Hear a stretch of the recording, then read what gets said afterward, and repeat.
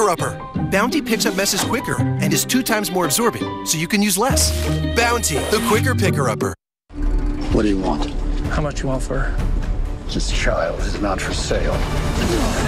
Here is your first look at Tom Hanks in his first Western. Happening now.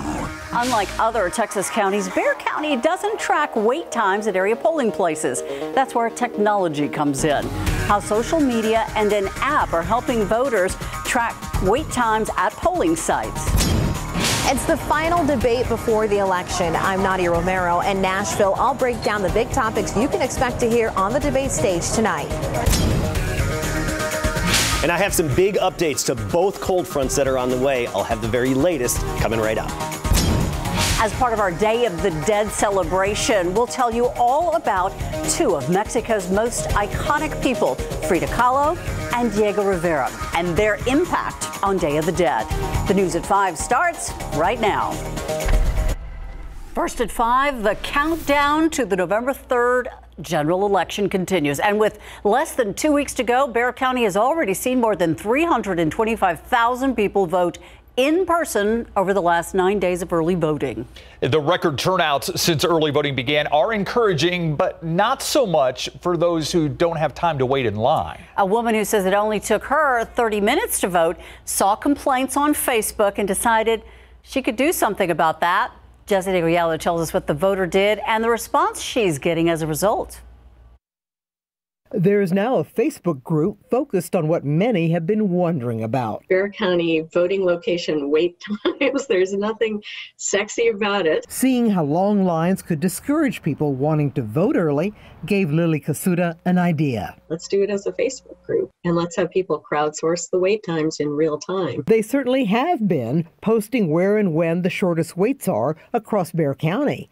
Based on those, the average is said to be only 10 minutes. Afternoons are better than mornings, as well as right before the early voting sites close at 8 p.m. What kind of response have you gotten? Well, in a little over a week, it's up to 6,000 members, which is incredible. It just showed me there's a, a real need for more grassroots help that's middle of the road, impartial, but useful. We checked whether this post was accurate about no one in line at this east side location being worth the drive.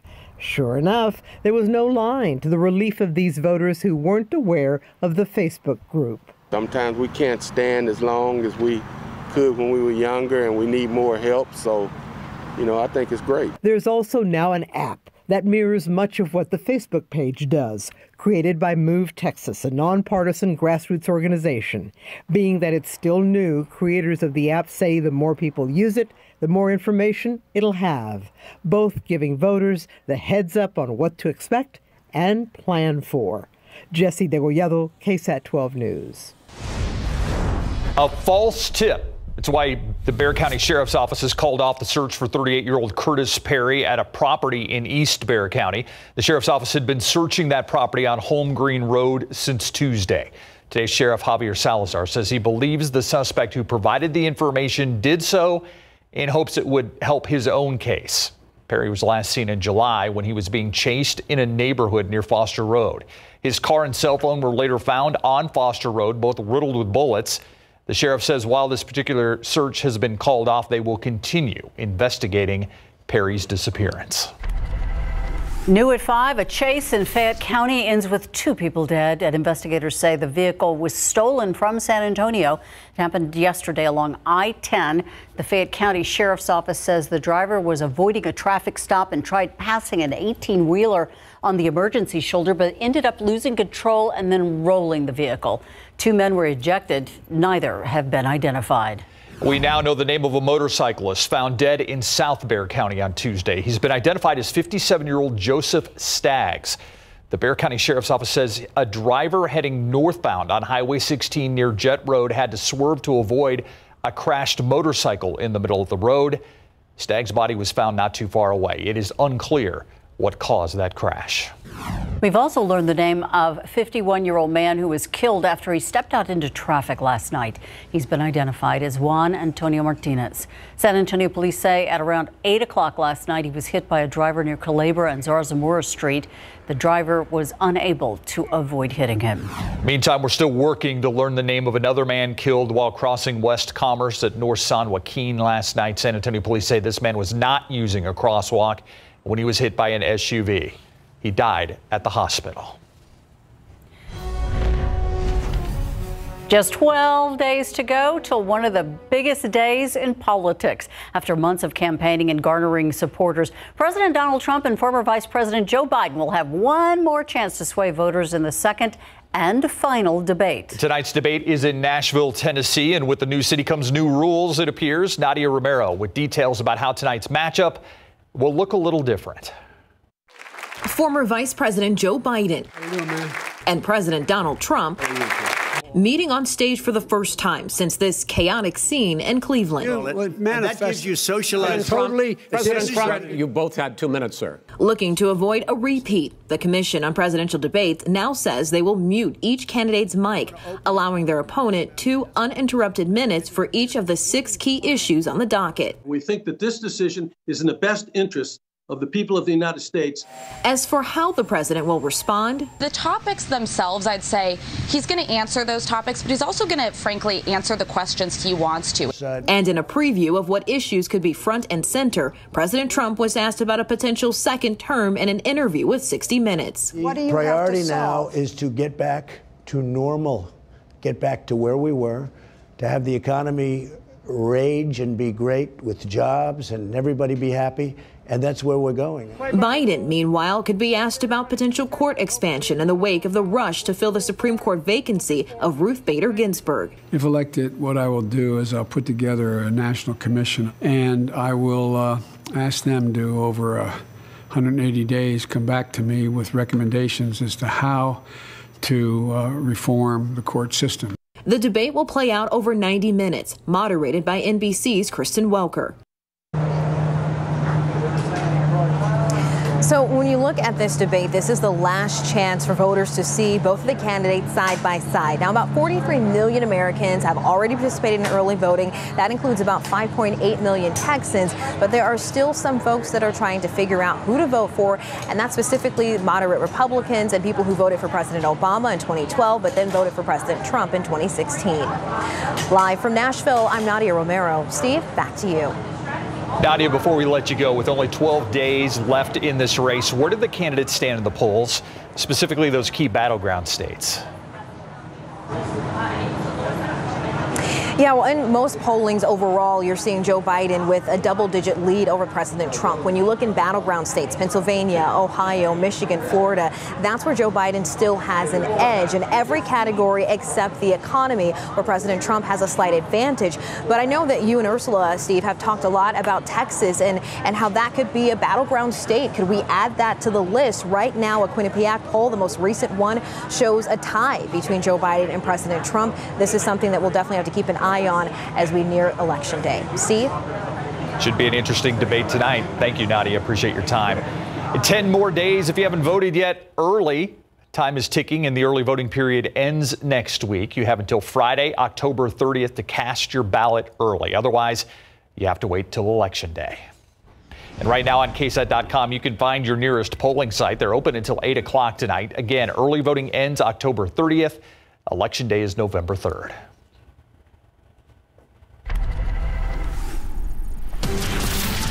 It was another ditto day. More of the same, but big changes are on the way. And it looks like uh, the cold front that's going to greet us tomorrow will be a little stronger than we previously anticipated. So, all of that full update in a moment. First of all, here and now, we've had a few showers out there, especially along the coastal plain uh, throughout the afternoon and even midday hours. But a lot of that activity is coming to an end. Uh, consider yourself lucky if you had a hit of rain there especially closer to the coastline. 89 Del Rio, 90 now in Floresville, 86 Leon Springs, Leakey at 88. It's just like the past several afternoons. Utopia at 90 along with Seguin. As we go through the evening, increasing humidity, increasing clouds overnight tonight. The cold front is expected to arrive by tomorrow afternoon. I'll help you prepare for it, let you know what it's going to be like even for Friday night football because things will be changing for that. And then our second cold front that hits on Monday. Let you know how much cooler it's going to get coming right up. Thank you, Adam. The latest now on the 2020 census. For the second time, a federal court has ruled against excluding undocumented immigrants from the census count. That move would have impacted the process of divvying up seats for Congress. Last month, a federal court in New York blocked the same measure. The Trump administration, though, appealed the decision, and the Supreme Court is expected to hear arguments next month. It is unclear if the administration will appeal today's decision as well. The pharmaceutical company Moderna announcing it's on track to finish enrollment this month for phase three of its coronavirus vaccine study. The company says it will price its vaccine under $40 for most people. That's a big difference from what biotech Gilead Sciences plans to charge for its own treatment, remdesivir. Today, the drug was approved by the FDA to be used as a COVID 19 treatment. In June, Gilead Sciences said one vial of the drug would cost more than $500 for people with private health insurance. While cough and shortness of breath and fever are what we most know about COVID 19 symptoms, the CDC also is listing new loss of taste or smell as another common one. But unlike a fever, some of those suffering from this latest symptom can feel the effect even months after the diagnosis. These three first lost their sense of smell when they were diagnosed with COVID 19. But even after recovery, they're still feeling the symptoms effects. The chicken itself, uh, it's almost nauseating.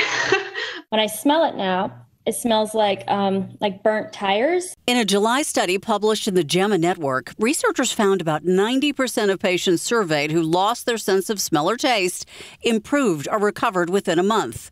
But nearly 11% said that the symptom was unchanged or worse. I went from no smell to like maybe two, three weeks of mild smells returning. And then the smell went from coming like returning gradually, like slowly, mildly, to just taking a very bad turn. It's been about three weeks since I've been smelling that burning plastic smell when I eat or shower, or brush my teeth. You go through that. Maybe it's just a weird day. Maybe something is spoiled. Maybe the coffee is rancid. Maybe, you know, and then you realize like it's not you know? I thought there was something going on in my house. I really thought something died in my garage. While we continue to learn more about covid-19 researchers say more studies are needed to determine how the virus has an effect on those senses. What an uncomfortable side effect, right? One study published in the journal eLife in July found that people who tested positive for COVID 19 are 27 times more likely to lose their sense of smell than those who simply tested negative, making it more of an indicator that you have the virus than the other symptoms like fever. The smell test. The smell test. Frida Kahlo and Diego Rivera. Diego Rivera. They are names that ring a bell. It's for a good reason. The iconic couple dedicated their lives to activism and art. They made a lasting impact on Mexican culture. Up next, we take a look at how they shaped Mexican identity and their influence on Day of the Dead.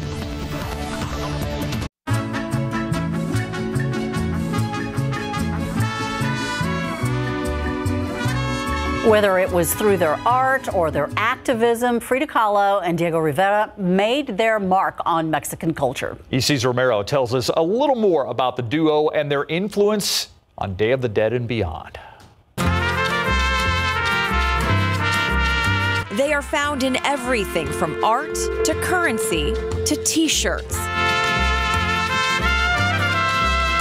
Frida Kahlo and Diego Rivera two of Mexico's most impactful figures. You know, um, their stories are so integral to what has happened in terms of Mexican identity, but also Mexican American identity, maybe even in a broader sense, Latinx identities. Diego Rivera, known for his iconic murals, Frida Kahlo for her profound self portraits.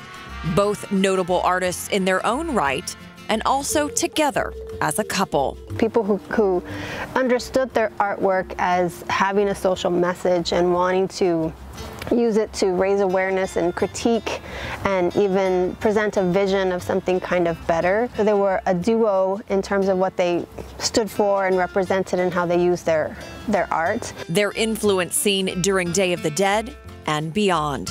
Frida and Diego brought it into focus with their work the way that they incorporated imagery out of indigenous origins and celebrated folk traditions like Dia de los Muertos. Um, so you will find in, in many of the most you know, legendary paintings of, of both Kahlo and, and Rivera these um, images of uh, skulls and, and calacas and skeletons of various natures. They, their impact was broader than just what they put on the canvas. It was, um, they contributed to like intellectual conversations of that day, which I think lends to their legacy. Isis Romero, KSAT 12 News. Coming up tomorrow during our 6 o'clock newscast, we're going to take you inside Casa Azul, the former home of Frida Kahlo, and explore one of Mexico's most historic boroughs. And of course, coming up next week on October 30th, one week from tomorrow, the Day of the Dead River Parade goes virtual. Join us for a night of celebration and culture from 8 until 10 p.m. Live look outside with Sky 12, right over another historic treasure there, the Alamo. Uh, beautiful day out there, only one person walking by, socially distanced. Yeah, there's like more activity oh, there out go. there. There we go, like the the Couple widening families. of the view there. But uh, we're waiting on a cold front, Adam. And not just one, Steve, but Oh, that's right. Two cold we have fronts. two. All right. Yeah, we'll have two cold fronts. The first one's going to be hitting us by tomorrow afternoon, tomorrow evening, and the second will be early next week. And it's going to have a big impact on our temperatures. I think we'll still make it into the 80s tomorrow, but then by Saturday, we'll probably be stuck in the 60s for afternoon highs, only to go back upward to fall off again. So we'll take a closer look at those temperatures and the timing of the changes coming right up. But let's talk about today as well. 90 degrees, the high temperature record challenging out there. We missed the record by one degree. 91 is the record set back in 1933. And of course, our morning low of 73, well above average for this time of year by a good 14 degrees. Right now we're at 89. We have some of those fair weather clouds overhead, and actually a few of those clouds threw out some showers earlier today. Highly isolated, but especially east of I-35 and closer to the coastline. A few folks were lucky and fortunate to get a few of the showers, but we just couldn't squeeze much out of them here in town other than a few little sprinkles. That was it. 91 in Pleasanton, 90 in Hondo, 93 Cotulla. This map looks the same as it did the past couple of days at this hour. Across the state, no big changes for now, but by this time tomorrow, we're going to see a big temperature drop off across Texas and a big contrast. And you see it right here. See the blue colors indicating the cooler temperatures, well below average, and then the orange indicating the warmer temperatures where we are, which is, as I mentioned, record challenging. There's the cold front. That's cold front number one. It's going to drag some of this cooler air southward, and it, we're really going to feel the effects by Friday night and especially into Saturday. So tomorrow, I still think we'll make it into the 80s into the early afternoon. But by football time and sunset, you'll really see that temperature fall off and the wind pick up. That leaves us in the upper 60s on Saturday, only to rebound again into the 80s on Sunday. It's like Mother Nature is just confused and can't decide what to do because then we fall back off again into next week. And it looks like the majority of next week will just be more fall like with some high temperatures in the upper 60s. Let's talk rain chances. I mentioned we had some of that activity along, especially the coastal plain earlier today. The overall pattern shows more snow within that unseasonably cold air to the north, and the jet streams a little to the north of us as well. That's going to change a little bit, and that's going to help us out in terms of rain chances. Not only does that pull some of the cooler air southward next week, but we'll have a nice cutoff, upper level low setting up to the west of us. That's pretty good positioning. We prefer them in northern Mexico, but this isn't all that bad. So by early next week on Monday, cold front moves in and will start to generate some upper level support as well. I'm not anticipating any drought denting rainfall necessarily, but a few hit or miss showers here and there, and at least some rain chances of scattered activity into next week. So tomorrow, 72 and cloudy in the morning, 10% chance of a few showers. By 5 p.m., we'll be in these upper 70s. 9 p.m., right near 60 degrees and really quickly falling off with a gusty wind. And then we get into next week, and a good chunk of the week should be spent with highs only in the mid and upper 60s. Wow, that is a roller coaster. Thank you so much, Adam. All right, this particular Cowboy player has been great when he's been on the field. Yeah. But he hasn't been on the field all And they need him healthy, and they need him on the field now for this Dallas D. When we come back, he says he's almost ready to return. Just how close, we'll ask him. And Randall Cobb's reunion with the Green Bay Packers when we come back.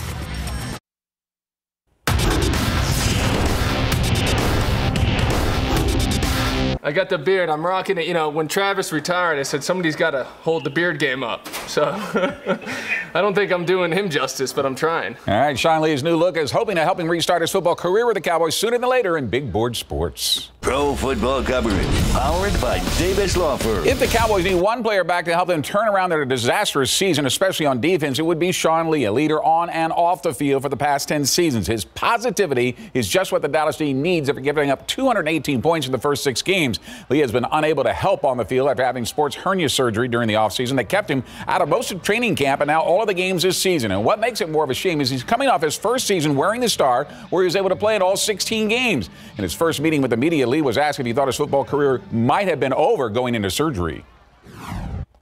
I dealt with this a little bit last year, and then in the training period before camp, it, it progressed and got worse. And, you know, the thought was, okay, maybe it'll heal. So we worked on it hard for three, four weeks, and it just never got to a point where we, we could play with it. So anytime you get surgery, you don't know what's going to be on the back end of that. Um, the surgeon did an unbelievable job, Dr. Meyers. Um, the rehab has been incredible with the trainers, and, I, and I've been really happy that I'm able to come back and, and, and, hopefully help here soon. Lee also blasted anonymous sources used by the NFL Network that said the coaches are unprepared. Lee says there is no finger pointing. When the Houston Texans host the Green Bay Packers this Sunday at noon in NRG Stadium, it will be a reunion for Texans new wide receiver Randall Cobb. He'll be going up against a team he played with for eight seasons before he signed with the Dallas Cowboys for one year last season, now the Houston Texans for the next three it's a little weird. Actually, you know, I was in Dallas last year and we played the Packers. It was a very weird feeling after being in Green Bay for eight years. Um, you know, giving everything to that, that organization to play them. It was a little, it was weird being on the other sidelines, but you know, uh, it's, it's a new year, different situation, and really we're just looking to go 1 0 this week. Cobb has three catches for 53 yards when he faced the Packers as a Cowboy. Now going into Sunday's game, he has 277 yards and two touchdowns. The Las Vegas Raiders have placed five players on the COVID 19 reserve list, including their entire offensive line, but will still play their game against Tampa Bay. Only that game has been moved to Sunday afternoon, replaced on Sunday night football with Seattle and Arizona. I cannot believe they're still playing the game, and it's Thursday. it really comes down to do you want to delay it or do you want to play it? And I guess they decided let's play. And I guess they have enough guys in reserve to do it. We'll see. Yeah, we'll see. We'll if see. you're if you're the quarterback, you're maybe more concerned than anybody else exactly, right now. Yeah. Exactly. What a strange year this has been. We'll be right back. Thanks so much for watching the news at 5 with us. World News is up next. We'll see you back here at 6 o'clock.